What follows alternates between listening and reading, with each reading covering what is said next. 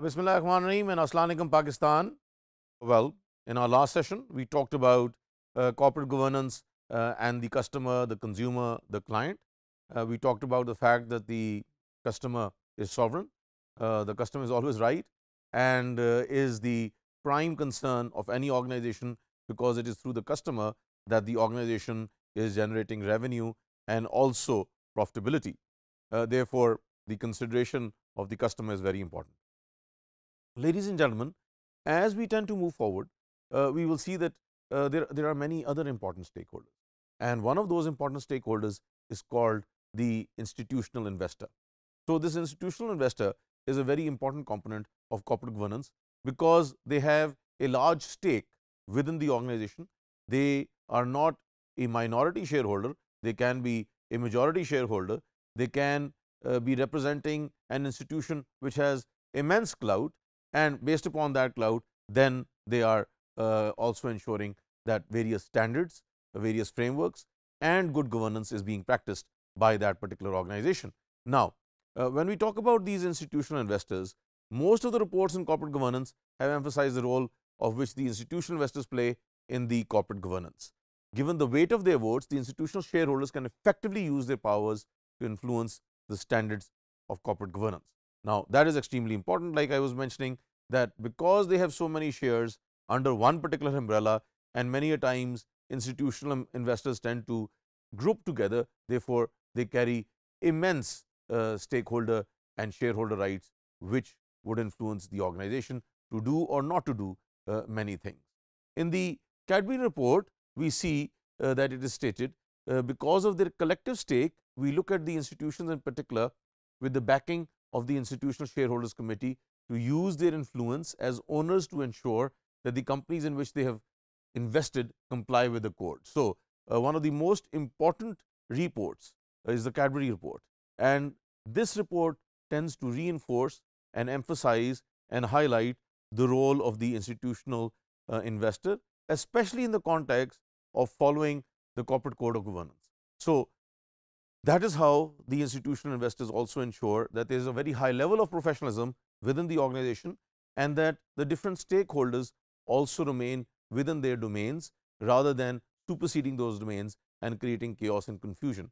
Contrary to this particular school of thought that the investor has uh, a direct say in corporate governance. There is also another school of thought which say that uh, investment objectives and the compensation system in the institutional investing companies often discourage their active participation in corporate governance. So, that is another school of thought that well on one side we say that uh, corporate governance can be uh, can be promoted while on the other one we say that well maybe uh, the institution itself is so much embroiled and engrossed in their own issues that it becomes very difficult for them to, uh, to involve themselves in the implementation of the corporate governance code in the institutions in which they are investing.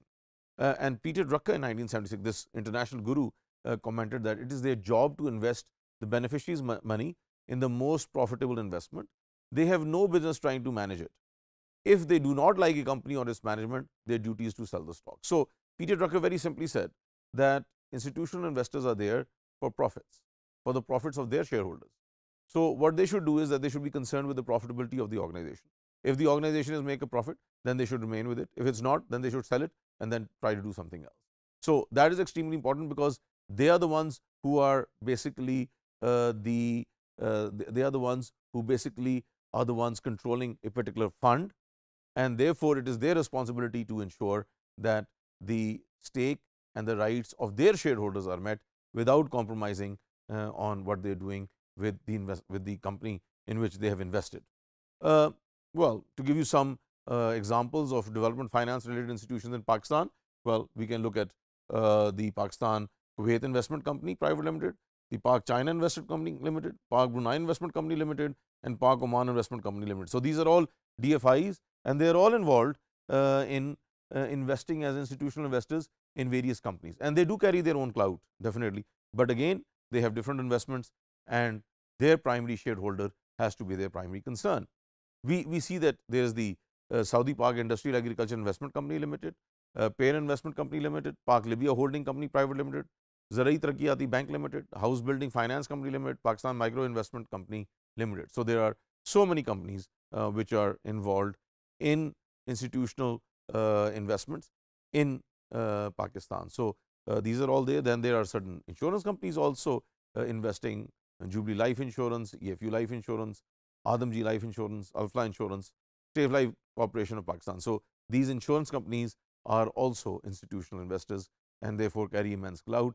There are different banks which are involved in it, B Bank Investment, uh, National Bank of Pakistan, Meezan Bank, Faysal Bank, Bank Alfalah Soneri Bank and Bank. So, we see that banks are also involved in investment and all of these are major stakeholders in the stock market and also uh, play a role uh, many a times when uh, even their representative can also be on the board of a particular company. So, yes they are there for profits, but still uh, they are also there to ensure that the company follows professional conducts and frameworks and ethics so that there is more longevity and more sustainability of that organization coupled with the profits uh, that uh, they also want to see coming so that their uh, primary shareholder can also benefit. There are different mutual funds. Uh, there is the National Bank of Pakistan Money Market Fund, the NIT Money Market Fund, the Pakistan Management Fund, UBL Cash Fund, ABL Cash Fund, HBL Cash Fund. So, these different mutual funds also tend to complement the stock market and also the institutional investors within different organizations in Pakistan. And the institutional investor is very important because it has immense clout uh, uh, because they are giving this uh, they are giving this large uh, sum of money for the shares that they are purchasing and therefore, they influence uh, the board and they can also influence the top management so that things are done in a better way. So, that is what uh, these institutional investors are and that is their level of importance. Thank you so much. Assalamu